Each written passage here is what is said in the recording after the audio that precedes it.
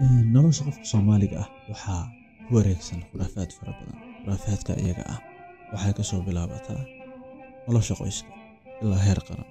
Qofka soomaaliga ah qoyskiisa ama nolosha qoyska ah waxaa ku jira khuraafaad badan laga soo bilaabo waalidka ama lamaanaha marka ay isxulanayaan kuma xushaan aqoon iyo fahan iyo ahmiyadda qoyska in waqti la geliyo xil la iska saaro.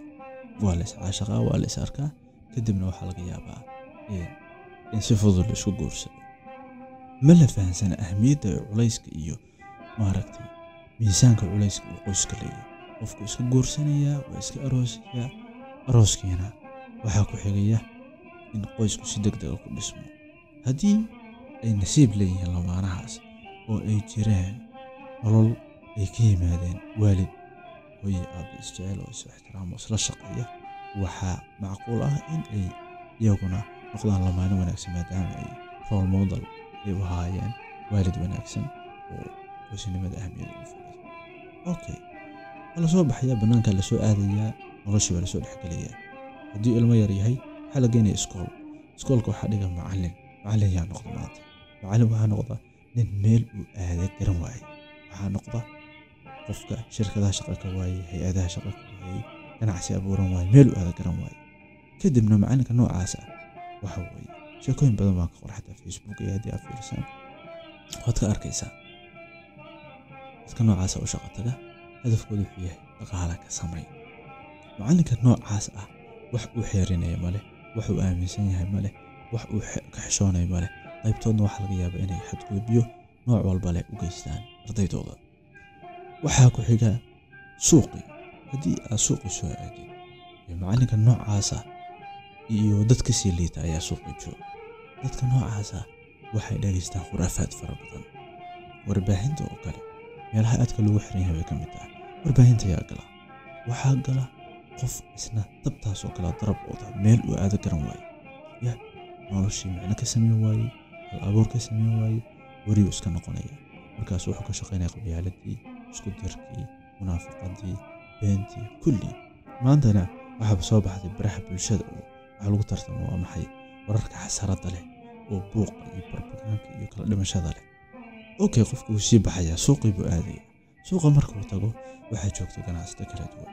Ganacsatada maxay ka shaqeeyaan? Waxay keenaan producti fashil ah productyo dhacay kuwa kwaalitigooda sare aad u liito oo tacbaan oo qofkii uu ku xanuunsanayo ama uusan waxba ka faa'iideyn waxaa la sheegaa kaniinada qaybtood qofkii in bur lagu soo shubay oo qofka hadduu cunayo hadduusan cuninba wax badan si aanay u kordhinayn. Kadibna waxaa la gelaya nidaamkii siyaasiga ahaa. Nidaamka siyaasiga soomaalida maanta waa nidaam wax uu ku dhisan yahay aan la garanay. Wax ka fariistay lama yaqaan.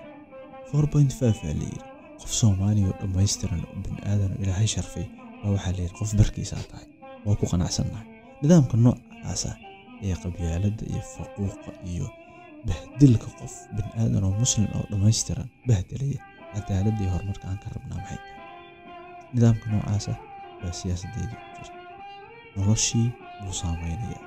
Nidaamkaas wuxuu ahaa nidaamkii hagi lahaa waxa khaldan oo dhan ama ganacsiga ha ahaato ama siyaasadda ha ahaato ama waxbarashada ha ahaato kulli. Markaasaa waxaa soo gelaya qofba qofku ka liitay waayo meesha iyadaa sida lagu galaa waxay tahay laaluush been robagaan jirinimo iyo intii ilaahay yahay okay noloshii baan sii dhex galaynaa. Waxaanu fiirinaynaa noloshii dhanka caafimaadka tusaale ahaan. Maanta waxaa la marayaa casri ay geyiga soomaalida caan ka yihiin dad khuraafaad ah oo khuraafaadka experts ku ah oo dadkii ay isugu buuranayaan. Bal can you imagine dhakhtar la leeyahay isaga oo soomaaliya jooga qof maraykan jooga wuu halkaa ka daaweynaya? Xali teknolojiyadda isticmaalaysaan caadi maaha. Adduunka uma gaarinay. Ya remote access baa la isku soo gelayaa. Walciyaadu billaah. Halkaas caafimaadkii maraya. Dadka qaybtood dad aan shahaadooyin caafimaad haysan baa waxaa la sheegaa ayagoo waddanka dhex shaqaysanayn la arkay. Daawadii qashinka ahayd iyo dhakhtarkii feega ahaa iyo midka khuraafiista ahaa baa dadka isugu tegay yaa u islaama dadkan idlaa laga helo. Waa lagu baashaalay waxa weeye qofkii wuxuu noqday wax lagu maaragta lagu barbarto. Okay shaqooyinka kale waxaa ka mid ah suugaantii. Allah halka laga jabay waa halka. Ah yah suugaantii. Can you imagine qofka maanta jooga? Waxay noqotay meel laysaga shaqato waxa horta haddeer wax lagu qiimeeya waxay tahay waa intee ku daawata? Youtube haddaad gelisid tiktok haddaad gelisid facebook haddaad gelisid intee ku daawata? Viewskaas tirada viewskaasaa waxay noqotay ciddii qiimeynaysay oo kala saaraysay oo garta siinaysay oo xukumaysay maanta marka qofka abwaanka ah ama heesaa ha ahaado ama gabyaa ha ahaado ama qof maaragta dadka wax u sheega ha ahaadee laguma qiimeeyo waxa uu sheegayo nuxurkooda iyo bulshada sida ay maankooda iyo garaadkooda u kordhinayso. Waxaa lagu qiimeeyaa intee daawatay? Waxay maraysaa hadda heesaha qaybtood. In thumbnailka sawirka la yiraahda ee muuqaalka youtube-ka oo kale tusaale ahaan kor laga saaro oo qofkii marka uu raadiyo shaashada uga soo muuqanaya in lagu qoro hadba view intay marayso ama yoolka viewska la raba inay gaadho.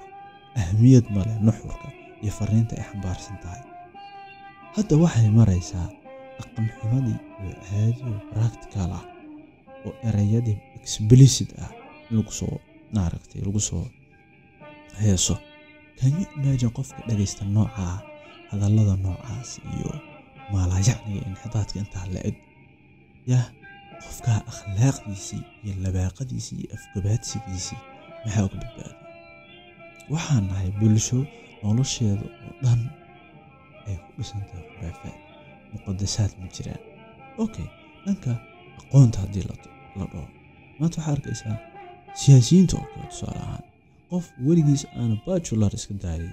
Iskool sare aan dhamaysan waxaa leeyahay doctor hebel b h d da sharafta laga dilay siyaasi as long as uu siyaasi yahay is doctor hebel okay maja mawduucaadka cilmiga oo kale diinta oo kale tusaale ahaan waa shayga qof walba uu ka hadlayo.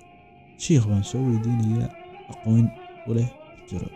Waxay noqotay qofka shakli inuu soo labisto ama uu gar la soo baxo ama cimaamad soo qaato oo dadkii soo hor fariisto lama weydiin karo. Maxaa lihi jiray? Walaalle hadda xaggee ka soo barata cilmiga waa iska soo socdaa. Wuxuu rabo dadku ku akhrinayaa maanta uu dheer kooxaysi iyo kala badsi iyo wax aanan micno badnayn. Baa lagu tartamaya runtii marka waxaan nahay bulsho khuraafaad fara badan ay ku dhisan tahay noloshooda waxaan u baahan runtii waxaan u baahan nahay in horta marka koowaad awareness waa shay muhiima muuqaalkan iyo kuwa lamidka waxa u duubeyna waxay tahay awareness ama wacyiga bulshada in la baraarujiyo. Qofka marka uu hadal noocaan oo kale dhegaysto waxbuu isweydiinaya ma aha ina hadalka wada saxan yahay oo maaragta weli soo daahiran aan ahay balse waxa weye waxay abuureysaa dood iyo discussion qofka maankiisa ku dhex abuurmaya taasoo dhalinaysa bal in aynu ka- ka sheekaysano oo ka niqaashno maaragtay waxa khaldan iyo sida loo sixi lahaa buuggiisa een, طريق آه، التقدم العلمي طريق التقدم العلمي ayaa waxa uu qoray qoraaga een, reer weyd wuxuu qoray wuxuu yidhi maaha go'aamada iyo nolosha bulsho ee la qaadanayo. Yaa maaha in lagu dhiso waxa weeye aaraada iyo afkaarta iyo khuraafaadka iska dhaadhiceen dadka hogaaminaya bulshada.